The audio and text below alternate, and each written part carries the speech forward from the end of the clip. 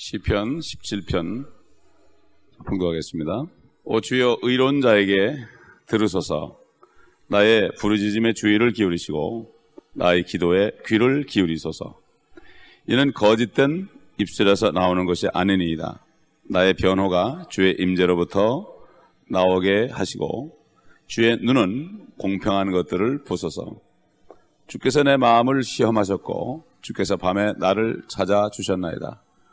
주께서 나를 감찰하셨으니 아무것도 찾지 못하시리니 나는 내 입이 범죄하지 아니할 것을 작정하였나이다. 인간의 언행에 관해서는 내가 주의 입술의 말씀을 따라 멸망시키는 자의 길에서 나를 지켰나이다. 내 발걸음이 미끄러지지 않도록 나의 걸음을 주의 길들 안에 세우소서. 오 하나님이여 내가 주를 불렀사오니 이는 주께서 내게 들으실 것임이니이다. 주의 귀를 내게 기울이시어 내 말을 들으소서. 주를 의뢰하는 자들을 대항하여 일어선 자들로부터 주의 오른손으로 그들을 구원하시는 오 주여 주의 놀라운 자애를 나타내소서.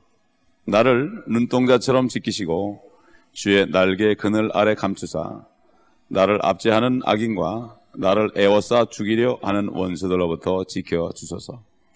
그들은 자신들의 기름에 갇혔으며 그들의 입으로는 교만하게 말하나이다. 그들은 이제 우리의 걸음을 에워싸고 자기들의 눈을 땅에 내리깔았나이다. 그들은 자기 먹이를 탐하는 사자 같으며 은밀한 곳에 숨어 기다리는 젊은 사자 같나이다. 오 주여, 일어나 그를 대항하시며 그를 굴복시키소서. 악인으로부터 나의 혼을 구하소서. 그는 주의 칼이니이다. 13절까지만 보겠습니다. 아, 다윗은 기도의 응답을 받기 위해서 자기 자신의 의를 지금 하나님께 호소하고 있습니다. 아, 이 구약 시대에는 자신의 의, 자신의 의로 산다. 그런 때였습니다. 율법을 줬기 때문에 아, 율법을 지킴으로 자기 의로 살 때였습니다. 의는 믿음으로 살리라 이렇게 아, 로마서 얘기했지만은 아, 하박국에 보게 되면은 의인은 자기 믿음으로 살리라 그렇습니다. 자기 믿음으로 살리라. 예. 그렇기 때문에 아, 구약 시대와 은혜 시대는 다르죠. 그래서 의로운 자에게 들으소서. 나는 율법에 정말 위배되지 않았고 의롭습니다. 이렇게 그는 얘기했습니다. 옛날 욥도 아, 사실 행동으로 볼 때는 완벽해 보였지만은 그가 고난 속에 들어갈 때 결국 모든 죄악이 드러나고 회개했죠. 마찬가지로 다윗도 지금 입으로 아, 입으로는 범죄하지 않았지만 그러나 그 속에 죄가 들은지 몰랐죠.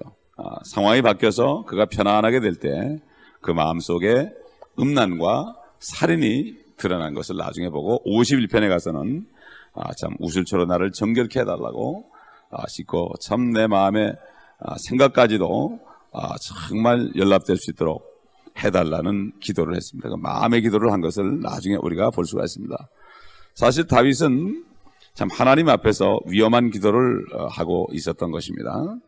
아, 그렇기 때문에 옛날에도 욥과 하나님, 아, 마귀가 아, 하나님과 있는 곳에 결국 그 욥이 그 앞에 있었던 것과 마찬가지죠. 결국 하나님이 있는 곳에 사탄이도 꼭 있습니다. 그렇기 때문에 아, 이 지금 아, 주의 임재로부터 내 변호가 나오게 하시고 그러는데 3절에 가니까 아, 주께서 나를 감찰하셨다. 아, 또 시험하셨다. 아, 이렇게 아, 좀 주께서 내 마음을 시험하셨고 나를 감찰하셨다. 이렇게 내가 이렇게 의로우니까 내 기도를 받아달라고 그럴 때 정말 네가 그러냐 아, 이런 시험을 받았고 또 감찰을 받았다. 하나님이 불꽃 같은 눈으로 자기를 아, 보는 것을 봤다 이런 얘기죠. 그렇기 때문에 아, 결국 아, 인간적인 아, 언행에 관해서 결국 자신을 지켰지만 결국 하나님이 시험하고 감찰할 때에 결국 5절에 가보면 5절부터 13절까지 쭉 보게 되면은 결국 우리가 시편 1편에서 41편에 주를 신뢰한다 하는 이러한 주제처럼 결국은 주님께 부탁하는 장면이 나오죠. 주의 오른손으로 구원하시는 오 주여 결국 하나님이 아, 오른손으로 구원해야 된다 하는 얘기를 했고 둘째로는 8절에 눈동자처럼 아, 지키시고 눈동자처럼 지키시고 사실 눈이라는 것은 사람의 이목구비 중에서 가장 귀중한 것이죠. 그래서 하나님께서는 마태복음 6장 주님께서는 마태복음 6장 22절에 아, 눈은 몸의 빛이다 그렇습니다. 아, 눈이 가장 귀하죠. 그렇기 때문에 아, 눈동자는 상당히 귀하죠. 그러므로 어떤 티끌이 들어갈 때 눈꺼풀이 반사작용을 해서 금방 아, 눈동자를 막아주죠. 그래서 나를 눈동자처럼 지키시고 지키시고 주의 날개 그늘 아래 감추사 이렇게 얘기했죠. 그래서 주님께서 참 예루살렘아 예루살렘아 내가 너희를 참, 아, 참 암탉의 병아리를 안 것처럼 몇 번이나 너희를 품으려 했느냐. 그러나 너희는 그 품을 떠났다. 참 주님이 예루살렘을 향해서 슬퍼하시면서 아, 말씀하신 것을 볼 수가 있습니다. 아, 여기 본문에 보게 되면 다윗을 따라다니는 원수들이 있다고 그랬고 그를 항상 애워쌌다고 그랬습니다. 이것은 바로 사무엘상 23장 26절에 보면은 그 왕위에 오르기 전에 사울과 그 무리들에게 엄청난 고통을 받았습니다. 아, 이것을 여기 표현한 거죠. 아, 이것은 앞으로 적거리 시도가 아, 유대인들을 이렇게 할 것이라는 거 어, 여기에 나타납니다. 그래서 아, 악인이 있고 또 원수들이 있다. 악인 한 사람이 있고 원수들이 있다. 이렇게 볼 때 악인은 단수로서 적그리스도를 아, 나타내는 모형이고 그를 따르는 무리들이 아, 이스라엘 민족들을 앞으로도 계속해서 괴롭힐 것을 얘기하고 있죠. 사무엘상 23장 26절에 이렇게 말씀했죠. 사울이 산 이편으로 가면 다윗과 그의 사람들은 산 저편으로 갔으며 다윗이 사울을 두려워하여 급히 피하려 하였으니 이는 사울과 그의 사람들이 다윗과 그의 사람들을 보위하고 잡으려 하였기 때문입니다. 이건 뭐 언제 죽을지 모르는 상황이죠. 아, 심지어는 아, 참 사울과 같은 동굴에 들어있을 때 아, 사울을 죽일 수도 있었지만은 그 겉옷을 칼로 싹 베가지고 아, 참 증거로 죽, 죽이지 않았다는 증거로 나중에 삼고 아, 이 얘기를 한 적이 있었습니다. 아, 자관 다윗은 하나님께서 계속해서 그 날개로 아, 둘러싸고 있었습니다. 하나님이 지켜주셨습니다. 마찬가지로 이스라엘 민족들을 앞으로 환란 때 그렇게 지켜줄 것입니다. 옛날 욥도 어, 고난 가운데 하나님이 지켜줬죠. 아, 바로 욥은 42장에 속하는 그 성경 말씀이 말씀하시지 나중에 후 3년만 42개월 동안 이스라엘 민족들이 고통을 받지만 모년에 욥이 복을 받은 것처럼 주님이 오시는 모년에 아, 결국 그들이 회개하고 다시 축복을 받은 남은 자들을 통해서 천년왕국이 전개될 것을 성경은 아, 우리에게 아, 신비롭게 말씀하고 있습니다. 다윗은 하나님의 날개 아래 둘러싸여 있죠. 그런데 여기 보면 원수들은 아, 여기 보면 원수들은 아, 기름에 쌓여 있다 이렇게 되어 있습니다. 원수들은 기름에 둘러싸여 있다. 자신들의 기름에 둘러싸여 있다. 항상 이 사람들은 자신들의 부유와 자신들의 명예와 아, 이런 것들, 세상적인 육신적인 것에 둘러싸여 있다. 그것들이 그들을 둘러싸고 보호한다. 아, 세상 사람들은 돈만 있으면 되는 거죠. 물질이 그들을 둘러싸고 있죠. 아, 이 기름은 그걸 뭐 표현하죠. 그러나 우리는 하나님의 날개가 우리를 둘러싸고 있어야 되는 거죠. 그렇기 때문에 아, 그들은 이제 우리의 걸음을 에어쌌다. 그들 이렇게 얘기하는 거. 아, 마찬가지로 앞으로 혼란 끝에 가면은 스갈에서 나오는 것처럼 이스라엘은 유럽이나 아프리카나 아시아나 아, 참, 아, 이 모든 아메리카 대륙 아, 그리고 영국이나 여러 나라들 아, 나라들이 이제 침공하게 됩니다. 모든 민족들이 이스라엘 아, 치, 치려고 일어나죠. 음? 그래서 결국 지금 다윗의 기도, 아, 다윗의 기도 참 저들로부터 지켜주셔서 악인과 나를 에워싸 죽이려 하는 원수들로부터 지켜주셔서 이 기도는 다윗 하나, 하나만의 기도가 아니라 앞으로 이스라엘 민족들을 구해달라는 예언적인 기도입니다. 그렇기 때문에 이 기도의 응답이 여기 분명히 스갈에서 2장 8절에 나옵니다. 스갈에서 2장 8절. 눈동자처럼 지켜달라고 그러는 그 기도의 응답이 스갈에서 2장 8절에 이렇게 나와요. 이는 만군의 주가 이같이 말함이라. 그 영광 후에 그가 너희를, 너희는 이스라엘이죠. 약탈한 민족들에게 나를 보내셨나니 이는 너희를 손대는 자가 그의 눈동자를 손대는 것이기 때문이라. 다시 말해서 이스라엘 민족을 치는 사람들은 바로 하나님의 눈동자를 치는 것이다. 마찬가지로 오늘날 그리스도인들을 아, 치고 그리스도인들을 핍박하는 사람들은 바로 하나님의 눈동자를 치는 것이다. 참 이러니 참 얼마나 얼마나 아, 참, 아, 참 무서운 말이고 우리에게는 축복된 말입니까? 참 주님께서 제자들 보내면서 그들이 너희 말을 듣지 않으면 내 말을 듣지 않은 것이다. 어? 이렇게 말씀한 것처럼 아, 참 전도자들 특별히 주님의 이름을 증거하는 사람들, 핍박하는 사람들은 하나님의 눈동자를 치니 결국 그 온전하겠습니까? 결국 다 부흥을 받게 돼 있죠.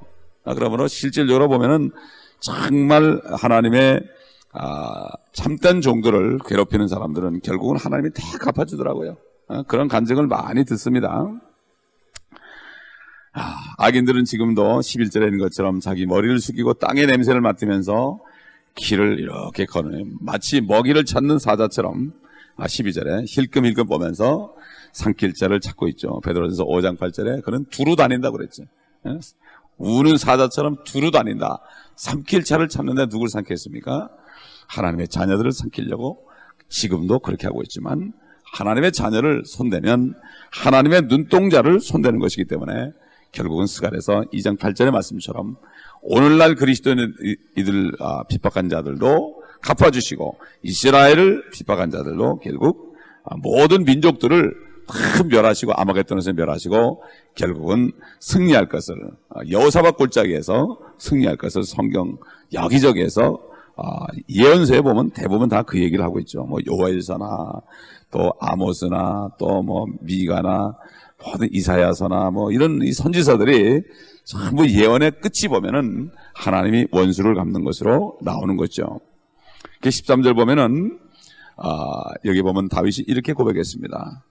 아, 오 주여 일어나 그를 대항하시며 그를 굴복시키소서 악인으로부터 나의 혼을 구하소서.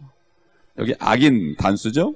아, 지금도 하나님의 자녀를 괴롭히는 사람이 악인이지만 단수가 나왔기 때문에 이것은 앞으로 한 사람 적그리스도를 나타내죠. 그래서 요한계시록 13장 보면은 666은 한 사람의 수다 그랬습니다. 사람의 수가 아니라 한 사람의 수다. 그게 바로 적그리스도죠. 그렇기 때문에 이 시편에도 이렇게 나오죠. 악인으로부터 나의 혼을 구하소서. 그는 주의 카레니다. 물론 환란 때 적그리스도 있지만 그 지금 옛날 아, 참 사도 요한 때부터 적그리스도의 영이 오리라 그랬지만 지금부터 있다고 그런 것처럼 아, 계속해서 적그리스도의 영은 인류 역사 6천 년 동안 여러 사람을 통해서 역사하고 있죠. 그래서 아, 악인이 바로 하나님의 칼이다. 하나님의 말씀이 하나님의 칼이다 그랬죠. 양날이선, 날선, 좌우의 날선 검이다 그랬죠. 그런데 여긴 악인이 하나님의 칼이다 하는 것은 하나님께서 악인을 도구로 사용한다는 겁니다. 아, 이스라엘 민족들 마지막 이제 환란 때 결국 마지막 그들이 참 고난을 받습니다. 결국 아, 저 사람의 피를 우리와 우리 자손에게 돌려달라. 아, 옛날에 2차 대전 때도 아, 참 독일 사람들이 유대인들을 죽일 때 뭐라는가 하면은 저 사람들은 예수 어? 그 예수 그리스도를 죽인 자들이다 이러면서 죽였습니다. 아, 그렇기 때문에 아, 결국 그 유대인들이 지금도 기독교까지도 옛날 캐토릭하고 똑같이 생각하고 아, 거부하는 이유가 바로 아, 거기 있습니다. 저 사람들은 우리가 자기네 메시아를 죽였다. 이렇게 아, 믿고 우리를 미워한다 이렇게 생각하기 때문에 상종을 하지 않으려고 그러는 거죠. 그래서 우리를 그들을 이해를 시켜야 됩니다. 그래서 아, 결국 아, 하나님께서 하나님의 자녀들이나 백성들이 잘못할 때 세상으로 돌아가고 불순종하고 이렇게 할 때 결국은 하나님께서 그런 사람들, 적그리스도의 무리들, 악인들을 사용하신 것을 볼 수 있죠. 그래서 사도행전 13장에도 보면은 세상 법을 지키라고 그러면서 저 세상에 있는 그러한 경찰이나 이런 사람들이 칼을 차고 다니는 이유가 바로 아, 죄를 지은 사람들을 집행하기 위한 것이다. 아, 이렇게 얘기했죠. 마찬가지로 그리스도인들이 죄를 짓게 되면은 감옥도 가야 되고 죄를 짓게 되면은 또 사형도 받아야 되고 아, 이것은 바로 아, 세상 사람들을 하나님의 칼로 사용하는 겁니다. 옛날 유대인들 아, 옛날 유대인들을 사용해서 하나님이 팔레스타인에 있는 사람들을 다 멸하셨습니다. 일곱 족속을 멸했죠.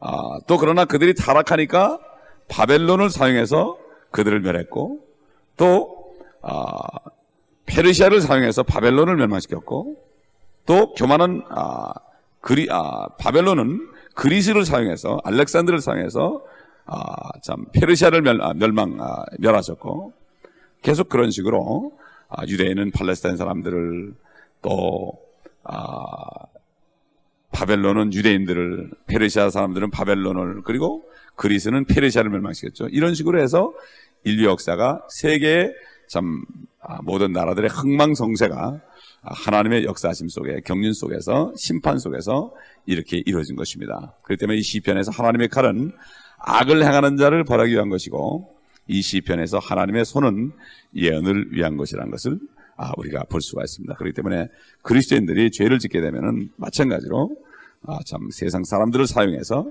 칼로 치는 것입니다. 아, 아, 우리 내일 14절과 15절은 아, 내일 하도록 하겠습니다. 기도하겠습니다. 아버지 하나님 감사합니다. 참 은혜 시대 저희들 주의 공로로 의롭게 된 저희들 참 법적으로 의롭게 되었지만 우리 속마음과 우리 육신은 아직까지도 더럽고 참 주님의 형상을 담기에 멀고 먼 길입니다. 주님 정말 이, 이런 말씀들을 통하여 우리가 깨닫고 아버지 하나님 우리 속마음까지도 다 씻김 받고 아버지 하나님 정말 주님 오실 때 잘했다 칭찬받는 정결한 신부로서 예비될 수 있도록 도와주시옵소서. 이 마지막 때에 참그 경건을 이익이라 생각하고 모든 것이 잘 되고 물질이 들어가면은 그것으로 평안을 누리는 때가 되었습니다. 그러나 아버지 하나님 정말 의인은 고난이 많다 하였고 그 고난을 통하여서 아버지 주님의 경건에 이르기를 원하시는 주님 참 우리 모든 성도들이 다 어려운 가운데 있지만 어려움을 통하여 아버지 속에 깊이 감추인 모든 것들까지도 주님 앞에 다 고백함으로 아버지 하나님 겸손하게 주님 앞에 무릎 꿇음으로 아버지 다 씻김 받고 용서받고 거룩해지는 성화되는 축복이 이 교회 모든 지체들에게 있게 하여 주시옵소서. 우리 주 예수 그리스도의 이름으로